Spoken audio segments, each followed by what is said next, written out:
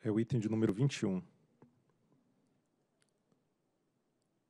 O item de número 21, que se refere ao requerimento administrativo interposto pelo Operador Nacional do Sistema Elétrico, ONS, com vistas ao parcelamento das multas relativas aos autos de infração número 4 de 2014, lavrado pela Superintendência de Fiscalização Econômica e Financeira, SFF, é, o AI número 62 e 4 de 2017, lavrados pela SFE, e número 1002 de 2014 e número 13 de 2015, lavrados pela SFG.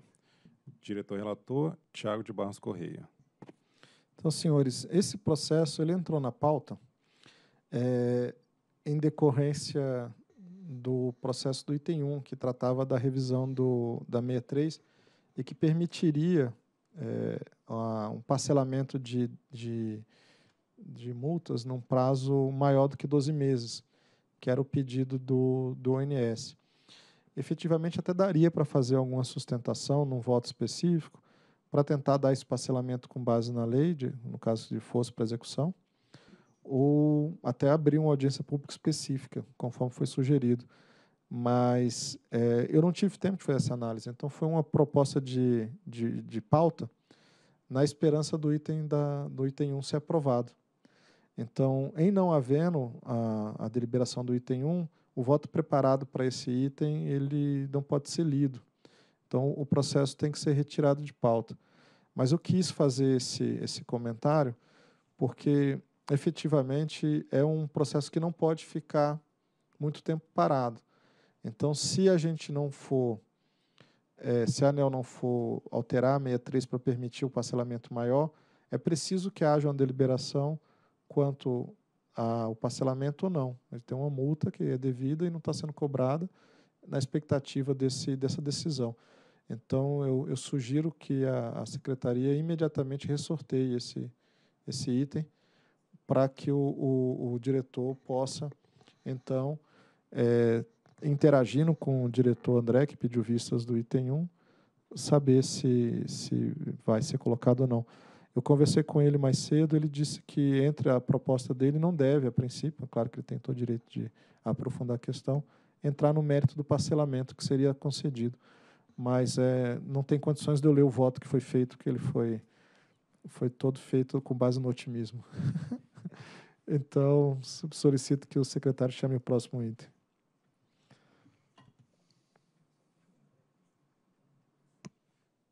Tem, é, chamar o item de número 26. O item de número 26, que se refere à ampliação da potência instalada e prorrogação da autorização referente à usina hidrelétrica denominada PCH Boa Vista 2, localizado no município de Turvo, no estado do Paraná.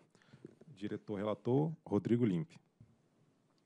Por meio da portaria DENAI número 435 de 3 de dezembro de 96, o DENAI autorizou a IBEMA o aproveitamento do potencial hidráulico de um trecho do rio Marrecos, relativo à construção da, da pequena central hidrelétrica denominada PCH Boa Vista 2, localizado no município de Turvo, estado do Paraná. O prazo da autorização foi de 30 anos, contados a partir da publicação da referida portaria, que ocorreu em 4 de dezembro de 96. Após alterações nas características técnicas e na titularidade da outorga, atualmente a usina tem 8 MW de potência instalada e está sob responsabilidade da empresa PCH BV2 Geração de Energia. Por meio da Carta 008-2017, complementada pela Carta 007-2018, de 15 de maio de 2018, a interessada solicitou autorização para ampliação da capacidade instalada da PCH para 24 MW, ou seja, saindo de 8 para 24 MW, além da prorrogação do prazo da autorização por 20 anos, com base no previsto no parágrafo 7 do artigo 26 da Lei 9427/96, contados a partir do término do prazo de outorga original. A Superintendência de Concessões e Autorizações de Geração, a SCG, analisou e emitiu a nota técnica 264-2018, de 5 de junho, recomendando que a diretoria ampliasse de 8 para 24 MW a potência instalada e prorrogasse a autorização da referida usina por um prazo de 20 anos, conforme disciplina o parágrafo 7 do artigo 26 da lei, a contar da autorização para ampliação, condicionando a entrada em operação comercial das unidades 1 a 4. Em 25 de junho de 2018, o processo foi distribuído à minha relatoria. Após receber representantes da interessada em reunião e realizar reunião interna com a SCG e a Procuradoria Federal junto à ANEL, por meio do memorando número 220 de 2018 da assessoria, foi solicitada a emissão de parecer jurídico sobre o assunto. Em resposta, a Procuradoria emitiu o parecer 325-2018, aprovado em 20 de julho de 2018. Tendo em vista o teor da manifestação da Procuradoria, foi solicitada à SCG manifestação complementar, o que foi atendido pela Superintendência por meio do memorando número 249-2018, de 9 de agosto de 2018. É o relatório. Procuradoria. Bom, conforme relatado pelo diretor Limp, a Procuradoria se manifestou nos autos por meio do parecer 325 de 2018. E aqui eu vou fazer um, uma pequena síntese do que está no parecer. É, primeira coisa que, que é ressaltado é que é o aproveitamento ótimo é um conceito dinâmico. Né? A prova disso é que o artigo 26, inciso 5 da Lei 9427, prevê a possibilidade de acréscimo de capacidade de geração justamente para é, prestigiar esse princípio do aproveitamento ótimo do, do potencial hidráulico. E esse mesmo dispositivo, no seu parágrafo 7 diz que, em havendo esse acréscimo de capacidade de geração, a, a concessão autorização poderá ser prorrogada por prazo suficiente para amortização dos investimentos. Num primeiro momento, a, Procuradoria tinha emitido o parecer 124 de 2018 e tinha entendido que é, essa prorrogação ela seria uh, dada a partir do momento que você autoriza o acréscimo da, da capacidade de geração. E esse entendimento acabou sendo revisado nesse parecer 325 e passou -se a se entender que a prorrogação ela tem que ser contada a partir do término da outorga que está vigente, até porque o prazo que está é, atualmente vigente é aquele que a, que a parte já teria direito, que o agente já teria direito a explorar. Então, se ele está tendo um acréscimo de geração, ele vai ter um acréscimo também de, de prazo de, de exploração do empreendimento. E outra coisa, ah, outro ponto importante do parecer é que quando a lei, o artigo parágrafo 7 fala prorrogação por prazo suficiente, ele não está amarrando esse prazo nos 20 anos. O prazo suficiente é o prazo suficiente de amortização, então, necessariamente pode ser menor do que os 20 anos para você amortizar aquele investimento. Então, não tem uma necessidade da prorrogação ser pelo prazo de 20 anos. Então, sendo assim, a Procuradoria reitera os termos do parecer 325/2018 nos termos que foram expostos agora na sustentação oral. Trata-se de pedido de ampliação de potência instalada e prorrogação de autorização referente à usina denominada PCH Boa Vista 2, localizada no município de Turvo, no Paraná. Segundo o projeto básico de ampliação da PCH, aprovado por meio do despacho 4087 de 5 de dezembro, a usina passará a ter uma casa de força com duas unidades geradoras de 4 megawatts e outra casa de força com duas unidades de 8 megawatts, totalizando os 24 megawatts de potência instalada. Em relação ao pedido de ampliação da potência instalada da PCH de 8 para 24 mega, não houve qualquer divergência entre o pedido da interessada e a SCG. Sendo assim, nesse quesito, acata-se integralmente a proposta da superintendência.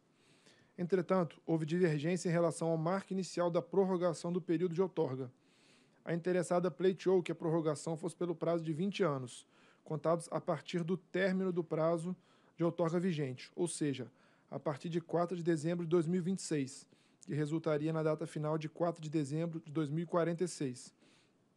Já a SCG recomendou o mesmo prazo de prorrogação, mas contados da data da autorização para ampliação.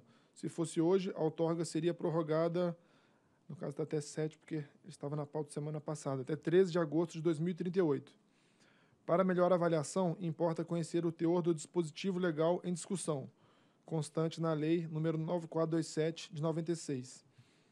Isso aqui, esse processo ele gira muito em torno da interpretação desse artigo.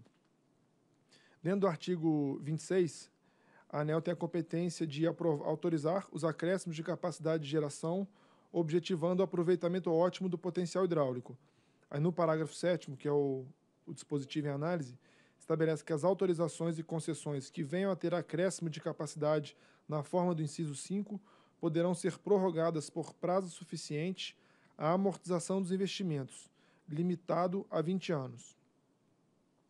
Na nota técnica 264-2018, a SCG mencionou que já fora dado tratamento similar a casos análogos, como em 2015, na solicitação apresentada pela Celesc, Geração SA, para a prorrogação da autorização referente à PSH Celso Ramos, e em maio deste ano, no pleito protocolado pela Eletronorte, para a prorrogação da concessão referente à UHE Curuá Una.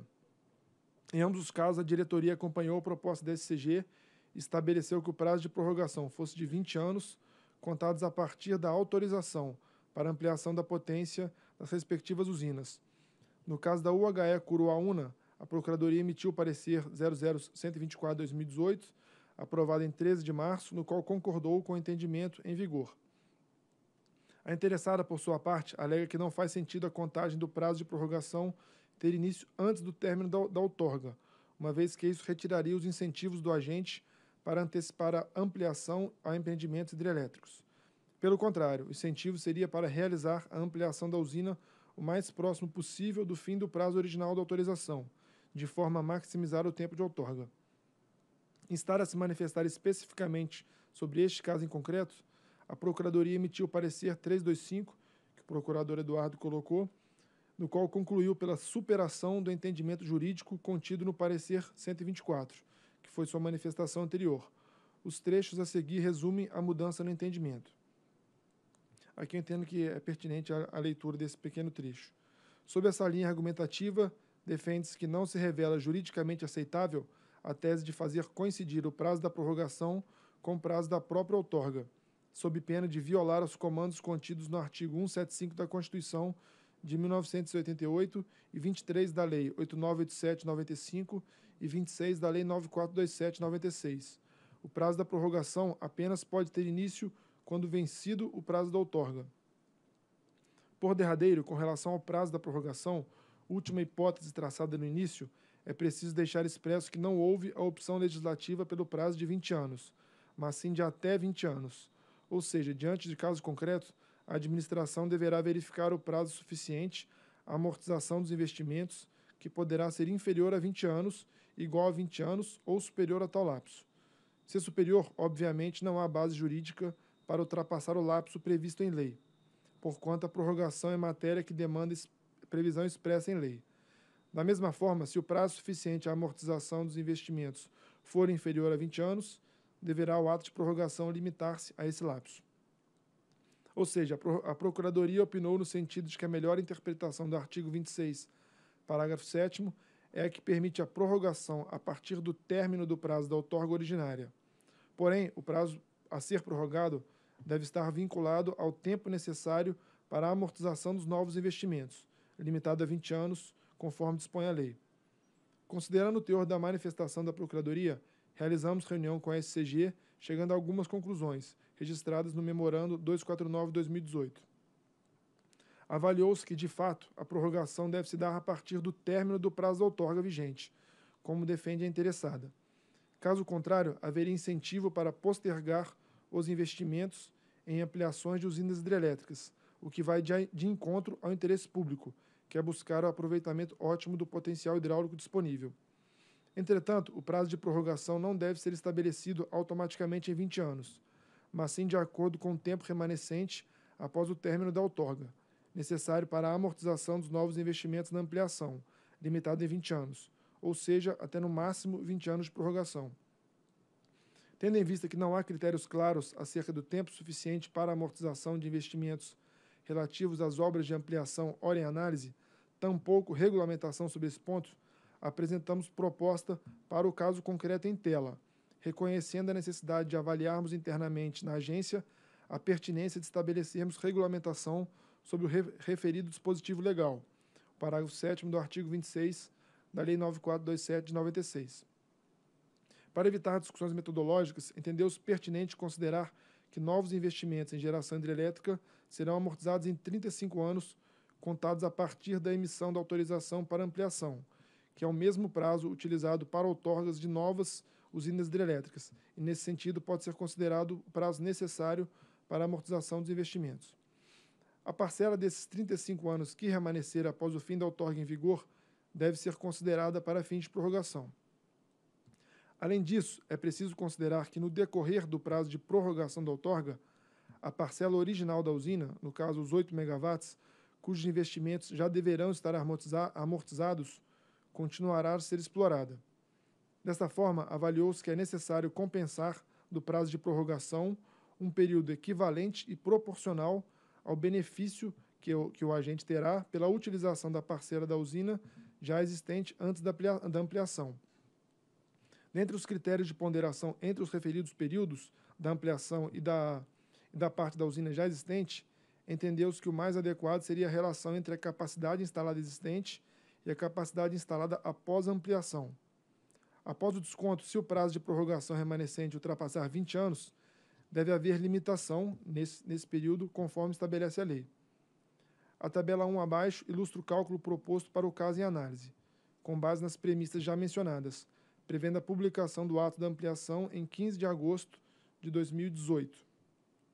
Aqui nessa tabela apresento os resultados, em que temos a potência inicial de 8 megawatts, a capacidade adicional de 16 e a final de 20. A data do outorga original, que teria fim em 2026, que eram 30 anos, e considerando apenas a parcela adicional, se autorizássemos agora a ampliação por 35 anos, iria até 2053 que seria 9.751 dias. A gente colocou as contas em dias porque facilita um pouco na hora das contas.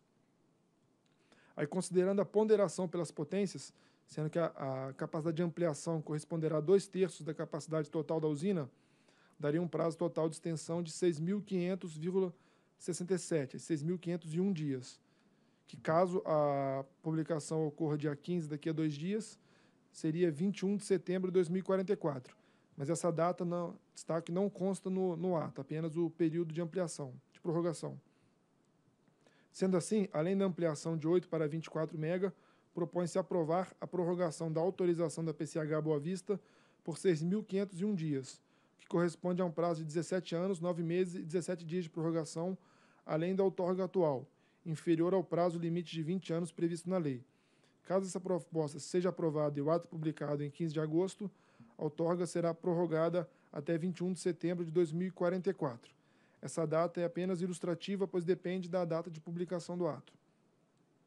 Portanto, diante do exposto e do que consta do processo número 48.100.002253.1995.32, voto por emitir resolução autorizativa, minuto em anexo, com vistas a autorizar a ampliação da potência instalada da PCH Boa Vista de 8 para 24 megawatts e prorrogar a vigência da outorga da usina por 17 anos, 9 meses e 17 dias, a contar do termo final da outorga em vigor, 4 de dezembro de 2026, sendo essa prorrogação condicionada à entrada em operação comercial das unidades geradoras relativas à ampliação, e também por determinar a Superintendência de Regulação dos Serviços de Geração, a SRG, que em articulação em conjunto com as demais superintendências da ANEL relacionadas ao tema, que avalie em até 180 dias a pertinência de regulamentação do parágrafo 7 do artigo 26 da Lei 9427 de 1996. É o voto. Em discussão. Em votação. Acompanho o relator. Eu voto com o relator. Também acompanho o relator e proclamo que a diretoria do ANEL, por unanimidade, decidiu autorizar a ampliação de potência instalada da, pessoa, da PCH Boa Vista e também realizar a determinação a SRG nos termos do voto do relator. Próximo item.